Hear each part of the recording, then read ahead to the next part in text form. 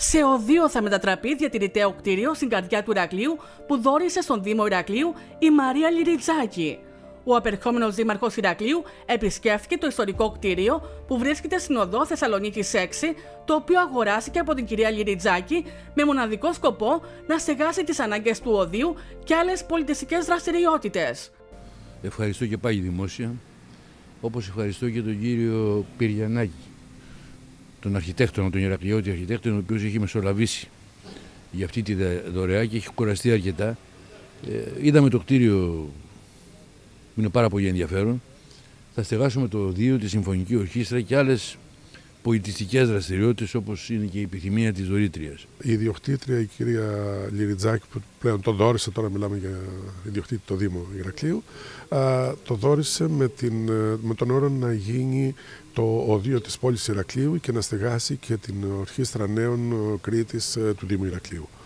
Ε, εκτός από την δωρεά που έκανε την αγορά και να το δωρήσει, η συγχρόνως η πρόθεσή της ε, έχει στείλει και τα χρήματα των μελετών που απαιτούνται για να εκδοθεί η οικοδομική άδεια. Ο Βασίλης Λαπρινός ευχαρίστησε τη δωρήτρια Μαρία Λιριτζάκη για τη σπουδαία αυτή δωρεά στο Δήμο Ηρακλείου, αλλά και τον αρχιτέκτονα Ηρακλή Πυριανάκη που συνέβαλε στην όλη προσπάθεια, τονίζοντας ότι το κτίριο με τις δράσεις που θα στεγάσει θα αποτελέσει κοιτίδα πολιτισμού για τους νέους μουσικούς της πόλης.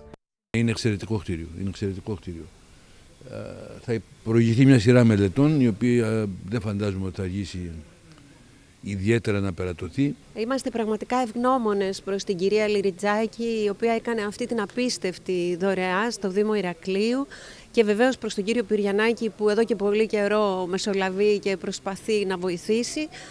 Ε, όπως γνωρίζετε έχουμε μια υψηλού επίπεδου συμφωνική ορχήστρα νέων Κρήτης και αυτή η ορχήστρα που προκύπτει από το οδείο του Δήμου Ηρακλείου θα βρει εδώ στέγη, θα βρει ε, το χώρο της για να μπορούν τα παιδιά να εκπαιδεύονται. Το διατηρηταίο κτίριο από την εποχή της κριτικής πολιτείας ήταν ιδιοκτησία της οικογένειας Βασιλάκη, ενώ πριν από πέντε χρόνια αγοράστηκε από την οικογένεια Μιχαλίτση με σκοπό να γίνει ξενοδοχείο πόλης. Η συγκεκριμένη επένδυση δεν ευωδόθηκε και το κτίριο αγοράστηκε από την κυρία Λιριτζάκη. Στο Ισόγειο υπάρχει τμήμα του ναού του Αγίου Παύλου του Τάγματος των Σερβιτών που χρονολογείται από το 1501, το οποίο σώζεται μέχρι και σήμερα. Εσωτερικά το κτίριο, ο, περίοδο του τουρκοκράτειας, έχουν γίνει η εσωτερική τύχη με το ο, Μπαγδατή είναι ένα στυλ κτισίματος που χρησιμοποιεί το το ξύλο και τη λάσπη. Είναι μια αντισυσμική κατασκευή που γινόταν τα χρόνια της τουρκοκρατίας. Αυτό υπάρχει ε, μέσα και παράλληλα είναι πολύ σημαντικό ότι έχουμε ιδιαίτερα σε εξωτερικές τυχοποιίες κατάλοιπα του μοναστηριού του 1500 των Σερβιτών.